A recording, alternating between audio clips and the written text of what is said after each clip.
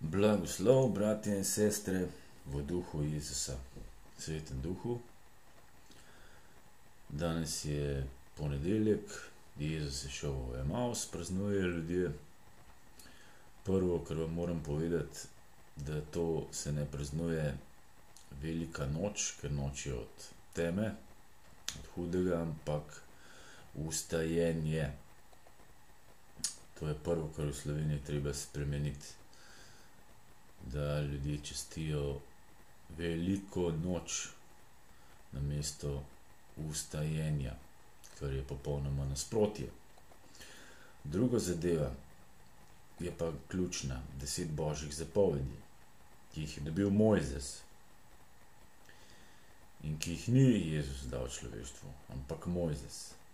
Jezus je dal človeštvu dve zapovedi, ljubi svojega Boga z vsem srcem, dušo in telesom, in ljubi svojega bližnjega kot samega sebe, delaj njim tisto, kar bi želel, da oni delajo tebi. Torej, Jezus je dal dve zapovedi in božji duh Mojzesu deset. In mi povejte, če je kdo prebral Mojzesove zapovedi. Namreč tukaj le vidimo v originalu. Prva je pač veruje v enega Boga, tukaj je na daljši način napisano. Jaz sem Gospod, tvoj Bog, ki sem izpeljal iz Egipta. Ki sem te izpeljal iz egiptovske države, iz hiše služnosti in imej drugih bogov poleg mene.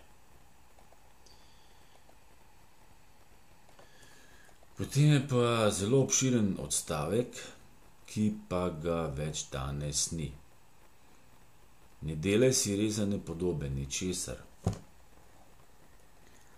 kar bi imelo obliko tega, kar je zgoraj na nebu, spodaj na zemlji ali v vodah pod zemljo. Ne priklanjaj se jim in jim ne služi, kajti jaz, Gospod tvoj Bog, sem ljubosujem Bog, ki obiskujem. To je pač prevedeno že drugače, kaznujem. Krivdo očetov in sinov na tretjih in četrtih generacijah. Tretjem in četrtem rodu. Tisti, ki me sovražijo.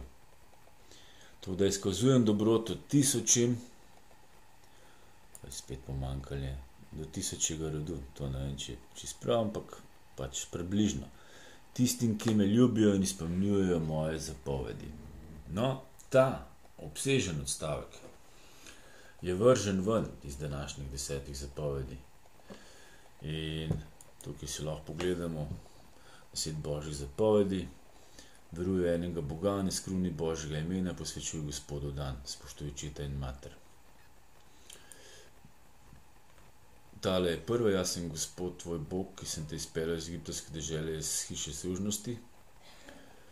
Potem je tale ne izgovarjaj po nemarnem imenu Gospoda, se pravi, ne skruni božjega imena, prevedeno posvečuj Gospodu dan, ki pa je sobota, spominjaj se sobotnega dne, ne nedelja. Se pravi, tudi to je na robe, verjem, v katoliški crkvi. Šest dni dela in upravlja svoje delo, sedmi dan pa je sobota za Gospoda tvojega Boga in upravlja in nobenega dela, ta, ta, ta, ta, in tako naprej. Se pravi, imamo tukaj veliko zmoto Rimokatoliške cerkve, ki so polno okrašene.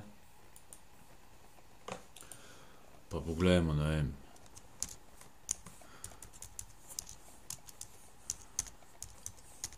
Bazilika Brezje. Pa boste videli malike.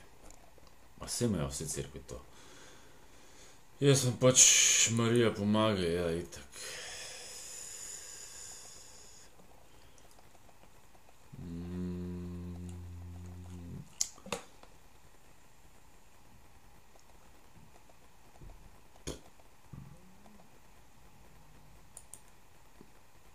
Bomo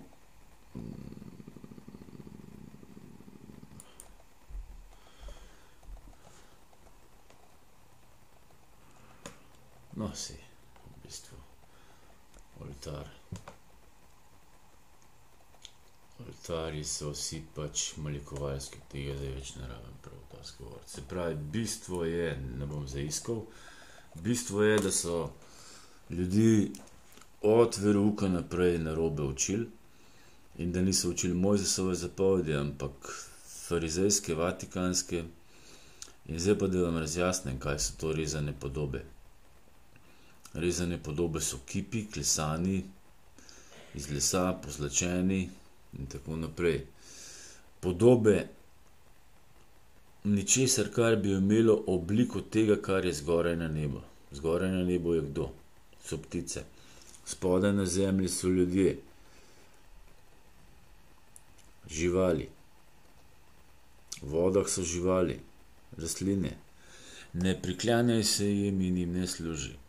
Ne priklanjaj se kipu, tudi ne priklanjaj se križu. Ne priklanjaj se križu, ne priklanjaj se kipu. S tem, ko ljudje to delajo, so zavedeni in ne bodo nikoli našli poti do v cerkvah, pred tem ekipi ne bodo našli božje milosti in svetega duha. Ker ti Boga moraš čestiti v srcu, s svojimi dejanji, s kesanim srcem s trdno odločenostjo, kaj boš storil. Ne malikujte več in pojdite ven iz malikovalskih crkva, kajti te neposredno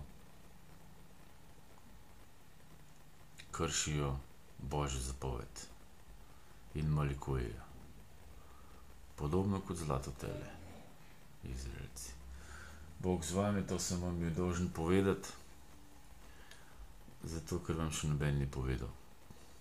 Seveda to velja za vse cerkve, ki imajo notrezane podobe. Zakaj je Bog ljubosumen od ekipe? Zato, ker te ekipe niso živi in ki s tem ne boste prišli do Božjega duha. Razumete?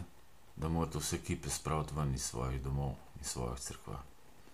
Ker kršite božjo zapoved, Mozesovo.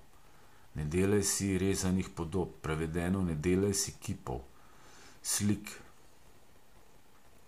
ničesar, kar ima obliko na nebu, na zemlji ali pod vodo. Amen. Bog z vami in bodite veselega srca.